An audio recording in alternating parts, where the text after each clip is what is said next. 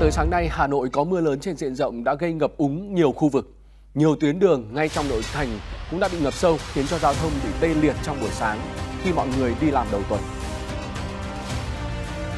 Bão số 3 và những trận mưa lũ do nó gây ra đã tạm thời đi qua. Khẩn trương khắc phục hậu quả cơn bão, nhanh chóng ổn định tình hình nhân dân, khôi phục sản xuất, kinh doanh và thúc đẩy tăng trưởng kinh tế là những nhiệm vụ hết sức cấp thiết lúc này. Nhiều chính sách cũng đã được đưa ra thêm một vụ nổ súng nhằm vào cựu tổng thống Mỹ Donald Trump tại sân golf. May mắn là ông Trump vẫn an toàn và giữ tinh thần ổn định. Theo dự báo từ Trung tâm Khí tượng Thủy văn Quốc gia thì nhiều khu vực trên cả nước sẽ có mưa rông trong chiều và đêm nay, có nơi mưa rất to đi kèm với các hiện tượng thiên tai nguy hiểm. Cụ thể khu vực Tây Nguyên Nam Bộ mưa lớn trên diện rộng trong chiều nay và chiều mai, có nơi mưa rất to trên 150 mm. Mưa cộng với lũ thượng nguồn dồn về kết hợp với chiều cường rằm tháng 8 âm lịch nên lũ ở đầu nguồn sông Cửu Long đang lên nhanh. Dự báo cuối tuần này ở đầu nguồn Tân Châu Châu Đốc lũ có thể lên trên báo động 1 từ 10 đến 20 cm đề phòng ngập úng vùng ven sông. Ngoài đê bao, còn khu vực Bắc Bộ và Quảng Bình cho đến Bình Thuận thì chiều tối và đêm nay cũng có mưa rông, có nơi mưa to trên 90 mm, đề phòng sạt lở đất ở các sườn đồi núi Ta Luy. À, lũ trên các sông ở Bắc Bộ tiếp tục xuống, ngập lụt các vùng trũng thấp sẽ dần được cải thiện. Riêng sông Bùi và sông Tích ở ngoại thành Hà Nội thì lũ rút rất chậm, ngập lụt sẽ còn kéo dài. Áp thấp nhiệt đới ở ngoài khơi Philippines khả năng ngày mai sẽ đi vào Biển Đông gây thời tiết xấu ở nhiều vùng biển. Vào 10 giờ hôm nay thì áp thấp nhiệt đới mạnh cấp 6, cấp 7, giật cấp 9 và đang ở vùng biển phía đông đảo Luzon của Philippines. Dự báo ngày mai áp thấp nhiệt đới sẽ đi vào Biển Đông. Một đến 2 ngày tới, áp thấp nhiệt đới có khả năng mạnh lên thành bão và tiến gần đến huyện đảo Hoàng Sa. Do ảnh hưởng của áp thấp nhiệt đới, từ sáng mai vùng biển phía đông của Bắc Biển Đông sẽ có mưa rông, gió mạnh cấp 7, giật cấp 9, sóng biển cao từ 2 đến 4 mét, biển động mạnh. Vâng và vào sáng nay thậm chí là nhiều tuyến đường ở thủ đô ùn tắc kéo dài hàng cây số, có nơi nước ngập sâu tới 50 cm khiến cho nhiều phương tiện giao thông bị chết máy. Một buổi sáng đầu tuần rất vất vả với người dân Hà Nội. Nhóm phóng viên của chuyển động 24 giờ cũng đã có mặt từ sáng sớm để cập nhật tình hình giao thông trên các nền tảng số của VTV24 và ngay sau đây sẽ là những tổng hợp được gửi về chương trình. Thưa quý vị, hiện tại tôi đang có mặt tại à, đường Thái Hà, đoạn trung cư 165 Thái Hà như quý vị có thể nhìn thấy được thì à, hiện tại mực nước ở đây đang dâng khá là cao do Hà Nội bắt đầu à, có mưa lớn từ à, đêm ngày hôm qua và đến sáng nay phải khoảng tầm 8 giờ 30 phút. Sáng nay mưa bắt đầu ngớt. Như quý vị có thể nhìn thấy được là ở đây thì đã có một chiếc xe ô tô bị chết máy từ cách đây khoảng tầm gần 8 giờ sáng. Lúc mà chúng tôi đến ghi nhận thì cái mực nước ở đây nó rơi vào khoảng tầm 40 đến 50 phân, nghĩa là trên nửa bánh xe của chiếc xe mà quý vị đang nhìn thấy. Đến thời điểm bây giờ là khoảng hơn 9 giờ một chút thì mực nước thì ờ, đã rút xuống rồi ạ. Lực lượng chức năng thì đã có mặt từ ờ, túc trực ở đây từ 4 giờ sáng và đưa ra các những cái phương án ờ, để có thể thoát đường nước nhanh nếu như có hiện tượng mưa lớn và xảy ra ngập úng ở trên tuyến đường này. Lực lượng chức năng cũng đứng chốt chốt chặn ở hai đầu. Đó là đầu từ Láng Hạ vào Thái Hà và đầu từ Hoàng Cầu vào Thái Hà để đưa ra khuyến cáo người dân không nên di chuyển qua đây. Tuy nhiên là vẫn có nhiều người dân di chuyển qua tuyến đường này À, em à, để 10 à, phút rồi anh ơi. Vẫn không thấy nổ. Vâng. Lực lượng chức năng thì cũng cố gắng hướng dẫn người dân nhiều nhất nếu như mà họ bất đắc dĩ phải di chuyển qua đây. Các chú thì là rất là tốt, ủng hộ hỗ trợ nhất cho cô. Theo thống kê đến 6 giờ 30 phút, Hà Nội có trên 40 điểm ngập, bao gồm các quận Ba Đình, Đống Đa, Hà Đông, Thanh Xuân. Đến 10 giờ sáng nay, mực nước đã rút bớt, nhưng nhiều người vẫn chưa thoát được cảnh tắc đường để đi học và đi làm. Đa phần là các thầy cô cho tụi em uh, nghỉ và bây giờ tại vì tụi em phải làm thẻ sinh viên nên tụi em mới đi lên đây. Không là tụi em ở, ở, ở trong ký túc chứ mà em không có chui ra đây. Em đi về phòng châu A vừa mới mang đồ từ quê lên chị ạ. Em định đi sớm hơn nhưng mà gặp đường lụt nên hơi khó đi. Em chuyến bây giờ là chuyến thứ hai rồi nhưng mà do đường mưa ngập quá nên là giờ mới chuyển lên đây. Thưa quý vị, càng gần về trưa khi mà nắng lên ấy thì nước đã bắt đầu rút dần ở một vài tuyến phố. Thế nhưng mà trên phố Lê Lương Thế Vinh nơi mà tôi đang có mặt thì quý vị có thể quan sát thấy là mực nước vẫn đang khá là cao. À, đến khoảng quá bắp cá chân, đây là nơi nông nhất rồi ạ. À, đến bây giờ nước rút thì à, xe máy và ô tô đã bắt đầu di chuyển qua được. À, nhiều hàng quán trong buổi sáng ngày hôm nay quý vị có thể thấy là cũng đều phải đóng cửa do là à, nước từng cái đợt sóng khi mà xe đi qua ấy thì xô vào nhà và gây à, ướt ẩm ướt rất là nhiều những cái à, nền nhà của người dân ở đây. Nhiều tuyến phố tuy không ngập nhưng mưa lớn gây cản trở việc tham gia giao thông, gây ùn tắc kéo dài hàng km. Theo Trung tâm Khí tượng Thủy văn, miền Bắc ngày nắng với nhiệt độ cao nhất có nơi trên 34 độ C, chiều tối và đêm cục bộ có nơi mưa to. Hôm nay, các địa phương bị ảnh hưởng bởi ngập lụt đã dần đưa học sinh trở lại trường học. Ở một tuần sau khi phải đối mặt với nước lũ dâng cao khắp nơi, thiệt hại về trường lớp và có nơi còn thiệt hại cả về học sinh, giáo viên. Ngày trường mở cửa trở lại không chỉ mang rất nhiều cảm xúc mà còn là cả nỗ lực để tiếp tục năm học này.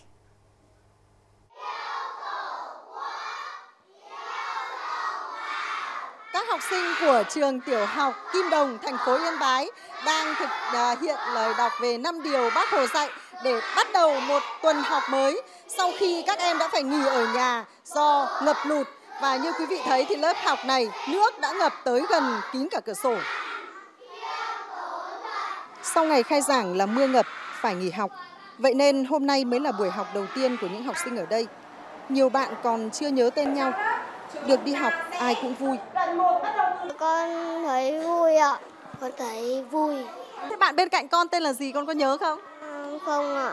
Không à? À, rất là phấn khởi, rất là mừng rỡ bởi vì là sau một uh, trận mưa lũ kinh hoàng Yên Bái nhưng mà nhà trường chúng tôi đã nỗ lực uh, khắc phục được uh, hậu quả sau mưa lũ và sẵn sàng uh, vào năm học mới ạ. Hôm nay tại Yên Bái, tỷ lệ học sinh đến trường là hơn 90% vì nhiều gia đình còn đang phải khắc phục ngập, lụt, đường đến trường nhiều nơi còn bị sạt lở. Các em chưa đến trường được là do cái thứ nhất là về cái điều kiện gia đình thứ hai nữa là do cái điều kiện đường giao thông đi lại thì khó khăn thì trong một hai hôm tới thì cái tỷ lệ học sinh đi lên ra lớp nó sẽ tăng trở lại và chắc chắn là sẽ đảm bảo được cái tỷ lệ tối đa học sinh ra lớp. Hôm nay tại Lào Cai, 77 trường chiếm khoảng 13% trường học trên toàn tỉnh chưa tổ chức dạy học trở lại. Tại Cao Bằng, chỉ duy nhất một trường học là chưa thể mở cửa trở lại. Tương tự, Tuyên Quang cũng chỉ còn một trường chưa đảm bảo an toàn cho học sinh. Các trường sẽ tiếp tục dọn dẹp, chỉ khi đảm bảo an toàn mới đón học sinh trở lại. Phó Thủ tướng Hồ Đức Phước vừa ký quyết định của Thủ tướng Chính phủ giao Bộ Tài chính xuất cấp lương thực, vật tư và trang thiết bị từ nguồn dự trữ quốc gia cho các địa phương khắc phục hậu quả của cơn bão số 3 và theo đó là sẽ cấp hơn 182 tấn gạo và vật tư, trang thiết bị cho các tỉnh Hưng Yên, Cao Bằng, Phú Thọ và Bắc Cạn. Các vật tư trang thiết bị cấp cho các tỉnh thì gồm các bộ xuồng cao tốc, máy phát điện, phao cứu sinh, bè cứu sinh, máy khoan cắt bê tông và các bộ thiết bị phóng dây cứu hộ. Ủy ban Nhân dân các địa phương này chịu trách nhiệm về tính chính xác của số liệu báo cáo, tiếp nhận, tổ chức hỗ trợ kịp thời, đúng đối tượng, quản lý sử dụng hàng dự trữ quốc gia đảm bảo hiệu quả và đúng mục đích. Tỉnh Lào Cai chiều qua thì đã chốt phương án chọn địa điểm để xây dựng tái định cư thôn làng nủ mới, cách thôn làng nủ cũ bị lũ cuốn trôi khoảng 2 km và địa điểm mới được chọn là một khu vực rộng rãi, có địa hình cao, an toàn, thuận lợi, bố trí hạ tầng giao thông và điện nước. Chính quyền địa phương đã lấy ý kiến biểu quyết của người dân thôn làng nủ còn sống sót sau trận lũ và nhận được sự đồng thuận 100%. Những nhà xây mới tại khu tái định cư thì sẽ xây theo kiến trúc truyền thống của người Tày ở địa phương. Và dự kiến trong ngày hôm nay thì chính quyền địa phương sẽ triển khai máy móc vào đo đạc, quy hoạch, thống kê đền bù giải phóng mặt bằng, thi công và quyết tâm là hoàn thành trước ngày 31 tháng 12 năm nay. Tại Hà Nội, cơn bão số 3 và hoàn lưu sau bão thì cũng đã gây thiệt hại nặng nề cho vùng sản xuất rau của thành phố. Nhiều diện tích nhà màng bị phá hủy, nhiều hecta rau màu bị ngập úng và rất là khó để khắc phục. Vâng, sau khi nước rút thì áp dụng các tiến bộ khoa học kỹ thuật cho lứa rau mới và nhanh chóng là cung ứng cho thị trường. Đây là định hướng của các vùng trồng rau ở đây. À, câu chuyện tại xã Tráng Việt, Mê Linh, vùng sản xuất rau an toàn lớn của thành phố Hà Nội. Ruộng đồng úng nước dù trời đã nắng to. Rác vương khắp đồng. Đó là những gì còn lại sau khi nước rút ở vùng trồng rau đông cao. Gần 20 năm về đây thì là cũng chưa bao giờ có một cái trận lũ như năm nay. Đến giờ phút này là nước ra đến đâu là nhân dân đi vệ sinh đồng ruộng đến đấy. Cũng là để cho nó sạch sẽ và cũng để chuẩn bị khô đến đâu là nhân dân làm đến đấy cũng tranh thủ là làm màu. Trước đó nhờ nắm bắt tốt thông tin mực nước sông Hồng dâng nhanh, Hợp tác xã rau an toàn Đông Cao đã nhanh chóng thu mua rau màu của người dân, góp phần giảm thiểu thiệt hại các cái vùng mà sản xuất chúng tôi đã ngập nước thì nó cũng được cái lợi thế là khi ngâm nước thì nó sẽ giảm thiểu về các cái loại vi sinh vật gây hại cho cây rau. Khi sản xuất bình thường, nó khoảng độ từ 1 triệu đến 2 triệu thì khi nước đã tràn qua thì các cái đầu vào thuốc phân bón thì sẽ giảm, ít nhất là khoảng độ 50% duy trì được cái vùng sản xuất quy mô lớn như vậy. Nếu như thời tiết thuận lợi, không có mưa, bà con có thể làm đất được, thì có thể là ngay trong một vài ngày tới chúng tôi có thể triển khai được khoảng độ 15 hay 20 hecta các cái diện tích còn lại thì cũng sẽ phải phụ thuộc vào thời tiết và phụ thuộc vào nước rút của sông Hồng thì chúng tôi mới sản xuất đại trà được. Chuyên canh trồng rau màu gần 20 năm, đây là lần thứ hai thôn Đông Cao lại gặp trận úng ngập nặng nề như vậy. Vùng sản xuất rau lớn nhất thành phố này đã sẵn sàng tái sản xuất nhằm nhanh chóng khôi phục khả năng cung ứng 200 đến 300 tấn rau một ngày cho thị trường thủ đô. 27.000 hộ dân tại Hà Nội đã phải di rời khỏi các khu vực ngập úng trong đợt mực nước sông Hồng dâng cao vừa qua. Ngay khi nước rút thì các gia đình đã bắt đầu à, trở lại dọn dẹp nơi ở, phố phường cũng như là khắc phục những tổn thất do mưa lũ gây ra. Thành phố cũng đã huy động tối đa lực lượng để hỗ trợ người dân sớm ổn định cuộc sống. Nằm sát ven sông Hồng, phường Tứ Liên có khoảng 400 hộ trồng quất cảnh. Không còn màu xanh của lá, thay vào đó là màu của bùn và đất. Nhiều cây đã chết cháy. Từ sau khi nước rút, bà Nga vẫn miệt mài xịt rửa từng nhánh cây, cố vớt vát những gì còn sót lại. Chúng tôi cũng ờ, nhắc nhau bảo nhau bảo vệ là cái cây này làm sao chúng tôi sẽ sửa đi để nuôi cố sang năm chỉ hy vọng những cái cây nó bị đuối nó quá nửa hoặc chết một nửa thì còn hy vọng là nó hồi lại. Cố gắng khắc phục còn nước còn tát. Những cành khô cành chết nào mình phải cắt đi và xịt nước để cho nó bong cái đất ra và để có cây cảnh xanh tươi có khả năng là mình chăm sóc vào thì nó bật mầm ra thêm. Dù không được à, à, tươi tốt đẹp à, để phục vụ Tết thì cũng còn cây cây giống để cho sang năm. Nước lũ không chỉ mang theo bùn đất mà còn có cả rác thải. Sau khi có điện và nước, người dân tại phường Phúc Tân, quận Hoàn Kiếm tất bật vệ sinh lại nhà ở, tuyến phố. Hàng núi rác thải, đồ đạc hư hỏng đã được tập kết lại để vận chuyển đi. Mặt đường cũng liên tục được xịt rửa. Sau khi nước rút thì chúng tôi đã triển khai ờ, phun khử khuẩn và rắc vôi bột toàn bộ khu vực ngập úng phòng khử ờ, dịch bệnh. Một số xác động vật ở các vùng trên cao trôi về đây mắc ở cây rất nhiều. Sau đây thì uh, lãnh đạo quận ủy ủy ban phường chỉ đạo là uh, phải dọn sạch khu vực dưới sông này sau khi nước rút. 11 à, rưỡi 12 giờ nước nó rút ra, hai vợ chồng cọ suốt từ lúc ấy đến 3 giờ sáng mới xong được để làm sao mà cho Phúc Tân này nó sau cơn lũ là sạch đẹp. Hai ngày cuối tuần vừa qua, Hà Nội đã phát động phong trào toàn dân tham gia tổng vệ sinh môi trường. Hàng nghìn cán bộ chiến sĩ, nhân viên vệ sinh môi trường, cây xanh đã được huy động đến các khu vực bị ngập lụt, có cây xanh đổ gãy, cùng người dân khắc phục hậu quả cơn bão số 3. Hàng tấn rác đã được vận chuyển khỏi các khu dân cư. Các tuyến phố vốn trước đây ngập từ 1 đến 2 mét đã lấy lại được vẻ khang trang, sạch sẽ vốn có. Cuộc sống sinh hoạt đang dần trở lại bình thường, dẫu còn nhiều khó khăn, thiệt hại vẫn chưa để khắc phục ngay. Càng vào những lúc như thế này, càng thấy được sự nỗ lực của từng cá nhân, sự chung tay của cả cộng đồng trong việc khôi phục lại môi trường xanh, sạch đẹp.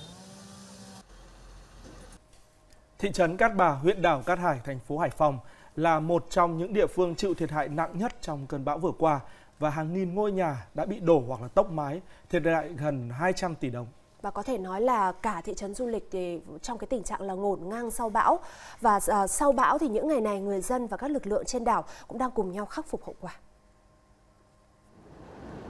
Ba ngày sau bão, chuyến phà ra đảo mở trở lại. Từ 5 giờ sáng đến 7 giờ tối, 30 phút mỗi ngày, thực phẩm và đồ dùng thiết yếu được đưa ra đảo. Chúng tôi đang trên chuyến phà để ra với thị trấn Cát Bà và những ngày này thì à, những chuyến phà này hoàn toàn miễn phí và quả thực thì à, nhờ những chuyến phà này đã khiến cho nhu yếu phẩm và việc đi lại giữa huyện đảo với đất liền trở nên thuận lợi hơn. Cát Bà mất điện, mất sóng điện thoại gần một tuần. Cả thị trấn ngổn ngang, nhiều gia đình trắng tay sau bão. Dọn dẹp sau bão là công việc nhiều ngày, cần có nhiều người. Không ai bảo ai, nhà nào thiệt hại nặng hơn, bà con đến hỗ trợ trước.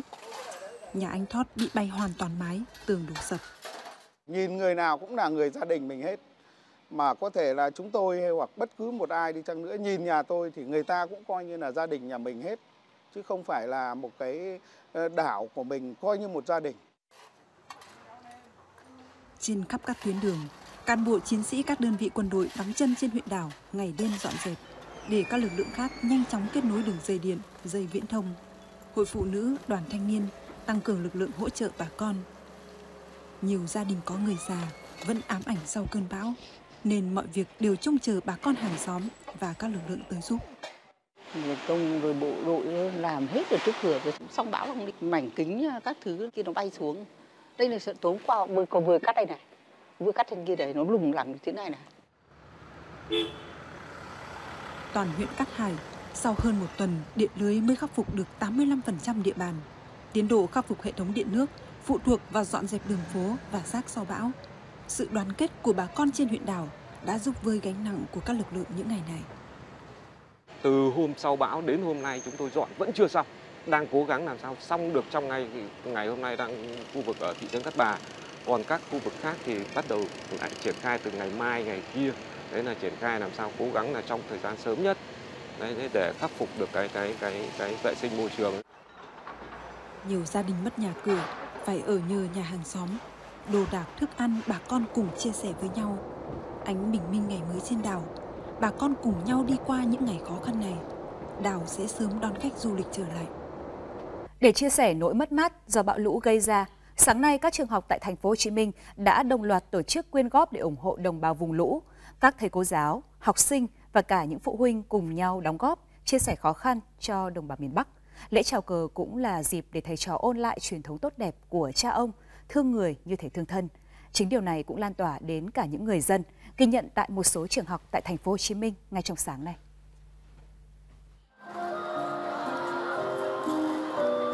Buổi chào cờ đầu tuần dưới sân trường hôm nay trang trọng hơn, sâu lắng hơn mọi ngày.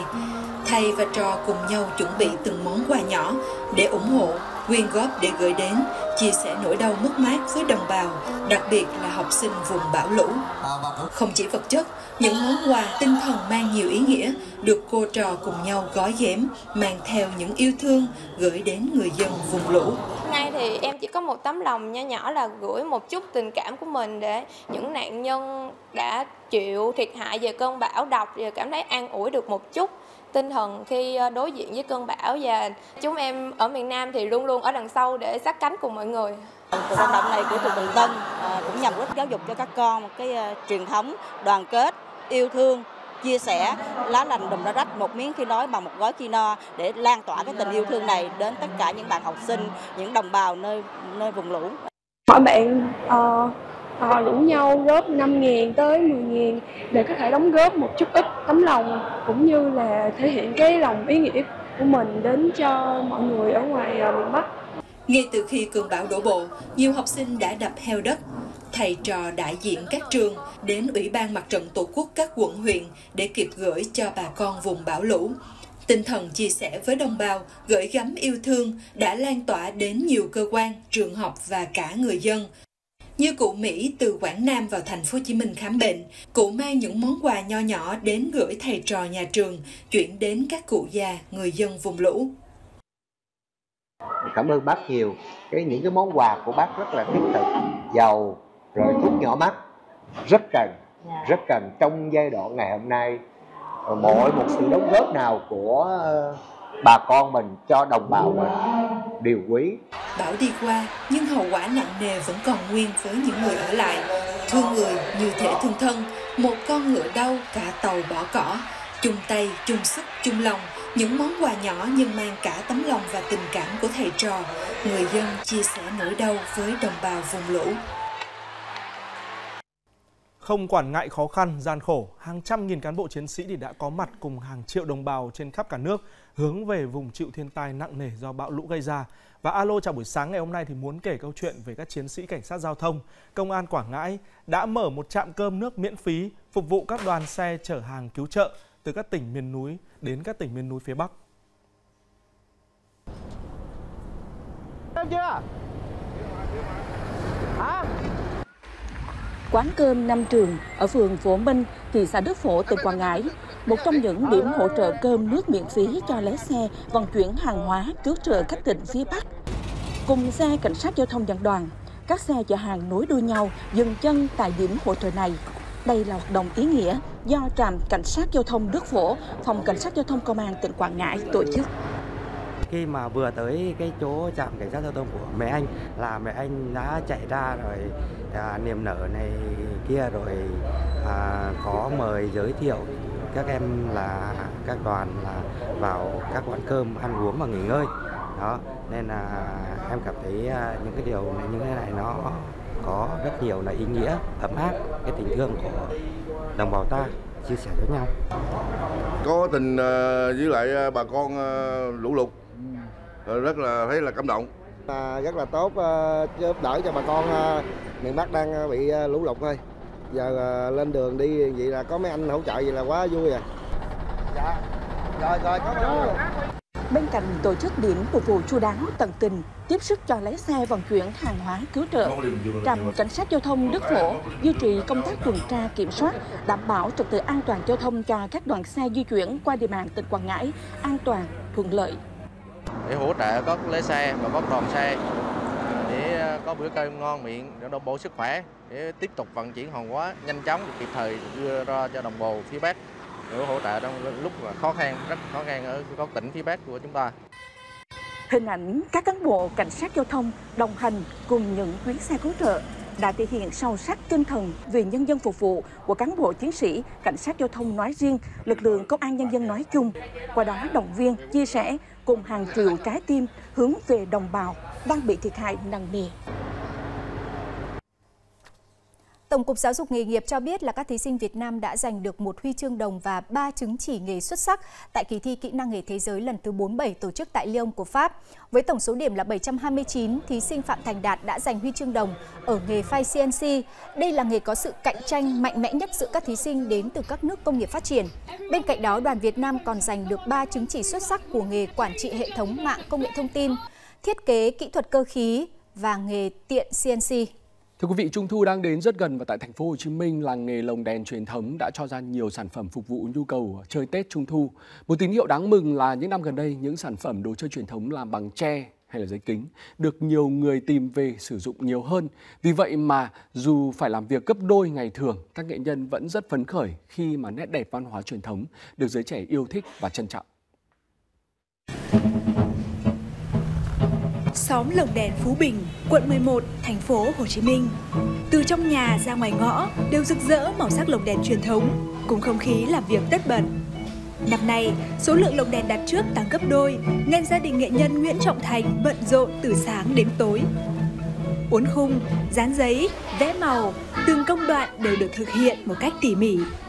Một ngày trung bình á, là phải làm được khoảng 200 con trong một cái mùa này á, đơn thì mình cũng chưa có tổng kết hết nhưng mà chắc nó có khoảng hơn 10.000 cái. Mấy năm trở lại đây cái đèn truyền thống mình á họ cho quay lại họ chưa, uh, sử dụng rất là nhiều nên là các cái hộ gia đình làm đèn truyền thống á, rất là hào hứng.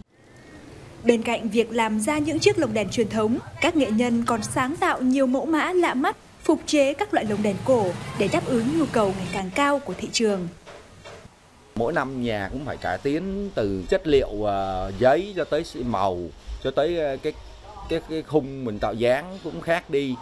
Và cái nét vẽ cũng vậy nó khác đi để mà bắt nhịp được với à, thị trường. Gắn bó nghề này quá lâu năm rồi.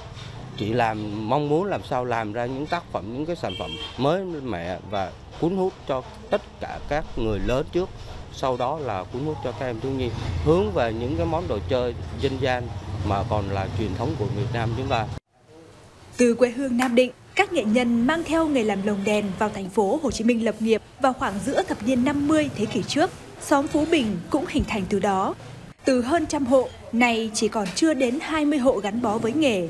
Dẫu vậy, với những gia đình quyết tâm giữ nghề, cứ tự nhiên như hơi thở, tình yêu dành cho lồng đèn truyền thống vẫn được truyền từ đời này sang đời khác. Năm sáu tuổi bắt đầu ra vẽ này kia rồi tới giờ 24 tuổi luôn. Chắc cũng mấy chục năm mình cũng muốn theo để cho cái nghề của mình về sau này kia cho nhiều người biết tới hơn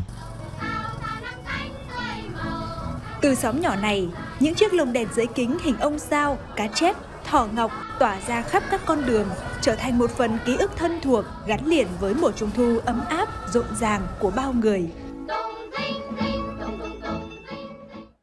Một vụ nổ súng nhằm vào cựu Tổng thống Mỹ Donald Trump đã xảy ra tại một sân golf ở bang Florida của Mỹ vào khoảng 13 giờ 30 phút ngày hôm qua 15 tháng 9 theo giờ địa phương. May mắn là ông Trump vẫn an toàn và giữ được tinh thần ổn định. Đối tượng nổ súng cách ông Trump từ 365 đến 457 mét và bắn ít nhất 4 lần.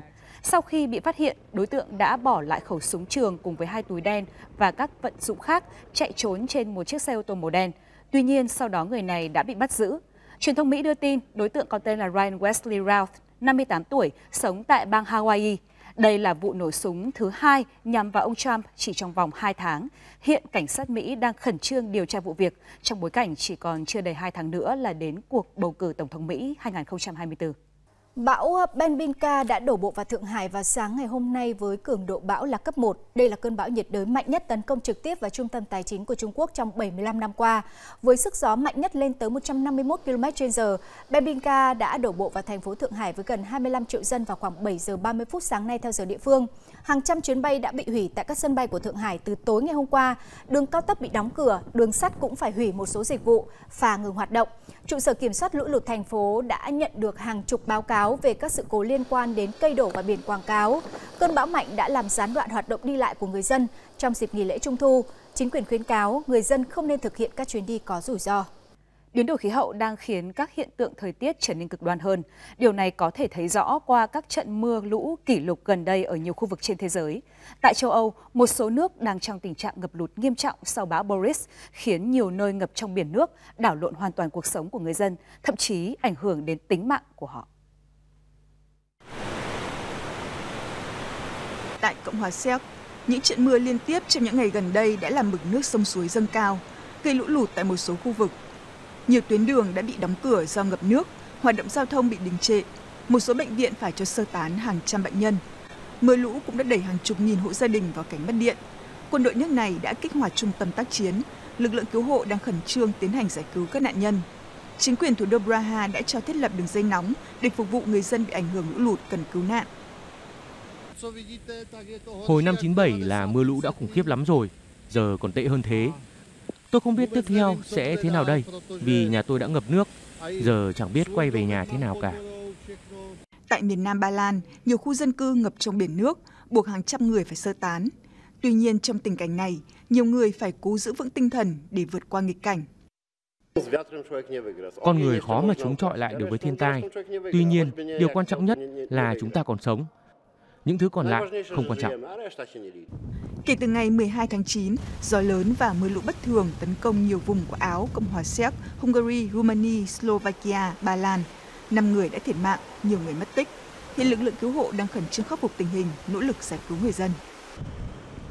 Lũ lụt cũng đã làm sập tường tại một nhà tù ở phía đông bắc của Nigeria khiến cho 281 tù nhân trốn thoát. 7 trong số gần 300 tù nhân trốn thoát trên đã bị cơ quan an ninh bắt giữ lại ngay sau đó. Phát ngôn viên của cơ quan cải huấn Nigeria cho biết các hoạt động nhằm bắt giữ số tù nhân còn lại đang được tiến hành. Được biết, nhà tù này nằm ở bang Bono, nơi đầu tuần trước đã hứng chịu trận lũ tồi tệ nhất trong nhiều thập kỷ. Lũ lụt kinh hoàng diễn ra khi một con đập bị vỡ và làm các khu dân cư bị ngập lụt. Theo cơ quan khẩn cấp của Nigeria, trận lũ đã khiến ít nhất 30 người thiệt mạng và 1 triệu người khác chịu ảnh hưởng. Trung Quốc đã quyết định tăng tuổi nghỉ hưu, lên tối đa 5 năm trong bối cảnh nước này phải ứng phó với các thách thức về kinh tế và áp lực ngày càng gia tăng từ tình trạng già hóa dân số. Quyết định có hiệu lực từ đầu năm sau. Cụ thể là tuổi nghỉ hưu của nam giới sẽ tăng từ 60 lên 63 tuổi và của nhân viên văn phòng nữ từ 55 lên 58 tuổi. Cùng với việc tăng dần tuổi nghỉ hưu, Trung Quốc cũng tăng dần thời gian nộp bảo hiểm xã hội. Theo giới chức phân tích, quyết định tăng độ tuổi nghỉ hưu sẽ giảm bớt áp lực cho hệ thống lương hưu, trong khi những người lao động lớn tuổi có thể cống hiến lâu hơn. Động thái này cũng có thể giúp ích cho nền kinh tế trong bối cảnh lực lượng lao động đang giảm sút do tỷ lệ sinh thấp. Trước đó, giới chức Trung Quốc đã đề xuất nâng dần tuổi nghỉ hưu và phát triển nền kinh tế tóc bạc để tạo ra nhiều việc làm hơn cho người cao tuổi. Bộ Thương mại Trung Quốc mới đây ra tuyên bố bày tỏ bất bình và kiên quyết phản đối việc Mỹ tăng thuế đối với một số hàng hóa nhập khẩu từ nước này.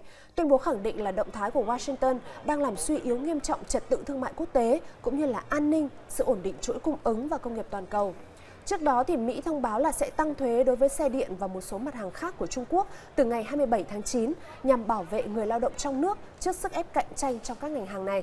Cụ thể là thuế đánh vào xe điện của Trung Quốc sẽ tăng gấp 4 lần lên 100%. Thuế đối với pin lithium ion thì tăng 7,5% lên 25%. Thuế đối với các sản phẩm nhôm thép thì cũng tăng 25% từ mức 0% hiện nay lên 7,5% vào ngày 27 tháng 9. Tại Nhật Bản thì số lượng người cao tuổi và số lượng người cao tuổi phải làm việc của nước này tăng cao kỷ lục. Đây là thông tin từ Bộ Nội vụ Nhật Bản. Và tính đến thời điểm hiện nay thì số người từ 65 tuổi trở lên tại Nhật Bản là hơn 36 triệu người, là mức cao nhất từ trước tới nay. Còn số người từ 65 tuổi trở lên mà vẫn phải làm việc cũng đạt mức cao chưa từng có với hơn 9 triệu người. Và đáng nói là trong số đó có cả những lao động mà trên 80 tuổi và thậm chí là cao hơn nữa. Bộ Nội vụ Nhật Bản ước tính là tỷ lệ người cao tuổi có việc làm tại nước này là 25%, tức là cứ 4 người cao tuổi thì có hơn một người có việc làm.